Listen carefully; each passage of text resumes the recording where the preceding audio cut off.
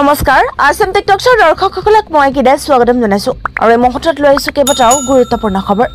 আজি হৈছে দুই অক্টোবৰ আৰু আজি ভাৰতৰ লগতে অসমৰ বিভিন্ন প্ৰান্তৰ পৰা এনেধৰণৰ খবৰসমূহ নিতৌ চাবৰ কাৰণে আছাম টেকটক চেনেলটো ছাবস্ক্ৰাইব কৰি কাষত থকা বেল আইকনটো প্ৰেছ কৰি দিব ত' বন্ধু বান্ধৱীসকল আহক আজি গুৰুত্বপূৰ্ণ খবৰকেইটা আৰম্ভ কৰোঁ দৰ্শকসকল এইমূৰ্তৰ সবাতোতকৈ ডাঙৰ খবৰটো হৈছে বিনামূলীয়া বিদ্যুতক লৈ মুখ্যমন্ত্ৰী হিমন্ত বিশ্ব শৰ্মাৰ বিশদ ঘোষণা বিনামূলীয়া বিদ্যুৎ পোৱাৰ লগতে বিদ্যুৎ বিক্ৰী কৰিও ঘটিব পাৰিব ধন পি এম সূৰ্য ঘৰ আঁচনিৰ জৰিয়তে লাভ কৰিব এই সুবিধা আনহাতে এই আঁচনিৰ বাবে ভাৰত আৰু অসম চৰকাৰে সা সাহাৰ্য দিব জনতাক এক কিলোৱাটৰ বাবে ভাৰত চৰকাৰে ত্ৰিছ হাজাৰ অসম চৰকাৰে দিব পোন্ধৰ হাজাৰ টকা দুই কিলোৱাটৰ বাবে কেন্দ্ৰই দিব ষাঠি হাজাৰ ৰাজ্যই দিব ত্ৰিছ হাজাৰ টকা তিনি কিলোৱাটৰ বাবে দিব কেন্দ্ৰৰ আঠসত্তৰ হাজাৰ ৰাজ্য চৰকাৰে দিব পঞ্চল্লিছ হাজাৰ টকা এই আঁচনিৰ জৰিয়তে চলাৰ পেনেল স্থাপন হ'ব আপোনাৰ ঘৰত মাত্ৰ পাঁচ হাজাৰৰ পৰা সাতাইছ হাজাৰ টকা খৰচ হ'ব আপোনাৰ হাতৰ পৰা আঁচনিৰ বাবে আবেদন কৰিবলৈ লগ ইন কৰক P M Suryaghar dot gov dot in তিনি কিলোৱাটৰ চলাৰ পেনেল লগালে বিক্ৰী কৰিব পাৰিব বিদ্যুৎ আপুনি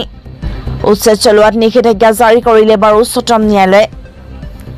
উচ্ছেদক লৈ ডাঙৰ মন্তব্য এবাৰ উচ্চতম ন্যায়ালয়ৰ উচ্ছেদ চলোৱাত নিষেধাজ্ঞা জাৰি কৰিলে উচ্চতম ন্যায়ালয়ে বুলডজাৰ একশ্যনত নিষেধাজ্ঞাৰ সময় বৃদ্ধি কৰিলে ন্যায়ালয়ে পৰৱৰ্তী নিৰ্দেশনা নহা পৰ্যন্ত চলাব নোৱাৰিব বুলডজাৰ ভাৰত ধৰ্ম নিৰপেক্ষ দেশ বুলি মন্তব্য এছ চিৰ উচ্ছেদৰ ক্ষেত্ৰত কোনো ধৰ্ম চোৱা নহ'ব অবৈধভাৱে নিৰ্মাণ কৰা মন্দিৰ মছজিদ সকলোতে চলিব বুলডজাৰ কোনো দোষী অভিযুক্তৰ ঘৰত যধে মধে চলাব নোৱাৰিব বুলডজাৰ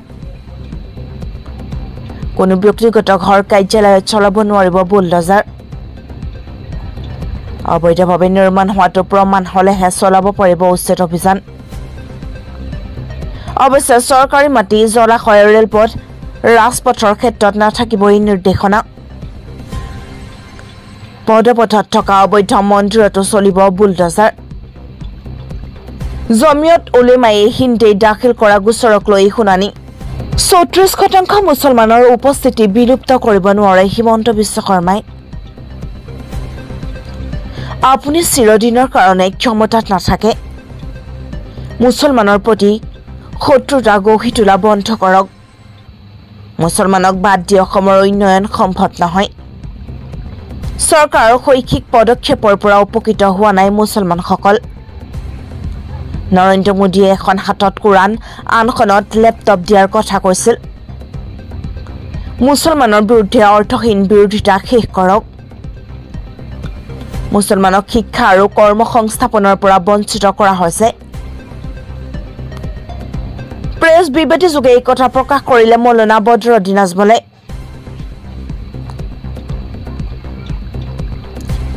বিজেপিক উফৰাই চৰকাৰ গঠন কৰিব কংগ্ৰেছে জনতাই জোৱাৰ আনিব কংগ্ৰেছৰ হাৰিয়ানাত মুখ ঠেকেচা খাব বিজেপিয়ে বিশাল ৰোড শ্বত অংশ ললে বৰ ৰাহুল গান্ধীয়ে হাৰিয়ানাত কংগ্ৰেছৰ ৰোড শ্বত হাজাৰ হাজাৰ লোকৰ অংশ জনতাক ৰাহুল গান্ধীয়ে দিলে গেৰাণ্টি বিজেপিক উফৰাই চৰকাৰ গঠন কৰিব কংগ্ৰেছে এ ডি এৰিয়াৰ চাকৰিৰ নামত ধন সংগ্ৰহৰ দৃশ্য বন্দী কেমেৰাত ইংৰাজী বিভাগৰ মুৰব্বী অধ্যাপকৰ বিৰুদ্ধে অভিযোগ গোৱালপাৰা মহাবিদ্যালয়ৰ ইংৰাজী অধ্যাপকৰ ভিডিঅ' ভাইৰেল অধ্যাপক মজবুল হক চৌধুৰী ধন সংগ্ৰহৰ দৃশ্য বন্দী কেমেৰাত বহুপ্ৰাৰ্থীৰ পৰা অধ্যাপকে ধন সংগ্ৰহ কৰাৰ অভিযোগ উত্থাপন হৈছে আনহাতে তৃতীয় আৰু চতুৰ্থ বৰ্গৰ চাকৰিৰ নামত ধন সংগ্ৰহৰ ভিডিঅ' ভাইৰেল সামাজিক মাধ্যমত ভাইৰেল হোৱাৰ পিছতে ব্যাপক চৰ্চা অভিনেতা গোবিন্দৰে সংঘটিত ভয়ংকৰ কাণ্ড বলিউডৰ জনপ্ৰিয় অভিনেতা গোবিন্দ গুলিবিদ্ধ নিজৰ পিষ্টলৰ পৰা ওলোৱা গুলীত আহত অভিনেতাজন পুৱা আঠ বাজি পঞ্চল্লিছ বজাত মুম্বাই ঘৰতে এই ঘটনা সংঘটিত হয় ওলাই যোৱাৰ প্ৰাক মুহূৰ্তত পৰীক্ষা কৰিছিল নিজৰ পিষ্টলটো গুলীয়ে আঘাত কৰিছে গোবিন্দ আঁঠুত সম্প্ৰতি মুম্বাই এখন হাস্পতালত ভৰ্তি অভিনেতা গোবিন্দ এইটোৰ তদন্তৰ আওতালৈ আহিব মুখ্যমন্ত্ৰী ভূমি কেলেংকাৰীৰ গোচৰত মুখ্যমন্ত্ৰীক গ্ৰেপ্তাৰৰ আশংকা আদালতৰ কাষ চাপিও সকাশ নাপালে মুখ্যমন্ত্ৰীয়ে মুখ্যমন্ত্ৰীৰ সম্ভাব্য মুখ্যমন্ত্ৰীৰ সম্ভাব্য বিপদক লৈ দুশ্চিন্তাত কংগ্ৰেছ হাইকমাণ্ড কৰ্ণাটকৰ মুখ্যমন্ত্ৰী চিদাৰামাৰ সন্মুখত আহিছে নতুন বিপদ মুখ্যমন্ত্ৰী সিদ্ধাৰামায়া ইডিৰ তদন্তৰ আওতালৈ অহাৰ আশংকা মুদা ভূমি কেলেংকাৰীৰ গোচৰ আছে সিদ্ধাৰামায়াৰ বিৰুদ্ধে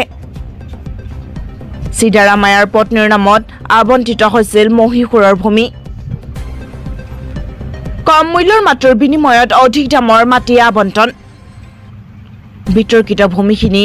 মাইচুৰু নগৰ উন্নয়ন প্ৰাধিকৰণৰ আনহাতে সিদ্ধাৰামায়াক গ্ৰেপ্তাৰৰ বাবে শুকুৰবোৰে দাখিল কৰে E C I R enforcement case information ৰিপৰ্টৰ ভিত্তিত হ'ব পাৰে গ্ৰেপ্তাৰ পূৰ্বে পূৰ্বে কৰ্ণাটকৰ ৰাজ্যপালে গোচৰ চলাবলৈ দিছিল অনুমতি ৰাজ্যপালৰ অনুমতিক সিদ্ধাৰামায়ে প্ৰত্যাহ্বান জনাইছিল আদালতত পুনৰ সাতশ পঞ্চাছ কোটি টকাৰ ঋণ ৰাজ্য চৰকাৰৰ ঋণ লোৱাৰ ক্ষেত্ৰত ৰেকৰ্ড গঢ়িলে হিমন্ত বিশ্ব শৰ্মা চৰকাৰে মন্তব্য পুনম গগৈ ঋণৰ ওপৰতে ঋণ লৈ ৰাজ্যখনক অৰ্থনৈতিকভাৱে নিশকটীয়া কৰিছে মুখ্যমন্ত্ৰী ডঃ হিমন্ত বিশ্ব শৰ্মাৰ চৰকাৰে ৰাজ্যৰ বিৰোধী দল অৰাজনৈতিক সংগঠন তথা তথা বৌদ্ধিক মহলৰ সমালোচনাৰ পাছতো অব্যাহত আছে চৰকাৰখনৰ ঋণৰ ওপৰত ঋণ লোৱাৰ প্ৰক্ৰিয়া প্ৰক্ৰিয়া যেন ঋণৰ ওপৰতে বৰ্তি আছে চৰকাৰখন প্ৰতি মাহে হাজাৰ হাজাৰ কোটি টকাৰ ঋণ লোৱা মুখ্যমন্ত্ৰী হিমন্ত বিশ্ব শৰ্মা চৰকাৰে যোৱা সোতৰ ছেপ্টেম্বৰত পাঁচশ কোটি টকা আৰু চৌব্বিছ ছেপ্টেম্বৰত দুশ পঞ্চাছ কোটি টকা ঋণ লোৱাৰ পিছত পুনৰ যোৱাকালি এক অক্টোবৰ তাৰিখে সাতশ পঞ্চাছ কোটি টকাৰ ঋণ লোৱাৰ প্ৰস্তুতি সম্পূৰ্ণ কৰিছে নতুন ৰাজনৈতিক ঠিকনা অনুপ চেতিয়াৰ আঞ্চলিকতাবাদত বিশ্বাসী আলফাৰ প্ৰাক্তন সাধাৰণ সম্পাদক অনুপ চেতিয়াই শীঘ্ৰে যোগ দিব প্ৰত্যক্ষ ৰাজনীতিত সকলো ঠিকেই থাকে থাকিলে চৈধ্য অক্টোবৰৰ পৰা চেতিয়াৰ হ'ব এক নতুন ৰাজনৈতিক পৰিচয় উচ্চতৰ মাধ্যমিক উত্তীৰ্ণ আঠচল্লিছ হাজাৰ ছশ তেসত্তৰগৰাকী শিক্ষাৰ্থীলৈ স্কুটি আৰু তিনি হাজাৰ পঞ্চল্লিছ দশমিক পঁয়সত্তৰ কোটি টকাৰ অনুমোদন কেবিনেটৰ মুখ্যমন্ত্ৰী হিমন্ত বিশ্ব শৰ্মাৰ সভাপতিত্বত মঙলবাৰে দিছপুৰৰ লোকসেৱা ভৱনত অনুষ্ঠিত হয় ৰাজ্য চৰকাৰৰ সাপ্তাহিক কেবিনেট বৈঠক কেবিনেট বৈঠকত কেবাটাও গুৰুত্বপূৰ্ণ আৰ এই কেবিনেট বৈঠকত কেইবাটাও গুৰুত্বপূৰ্ণ সিদ্ধান্ত গ্ৰহণ কৰা হয়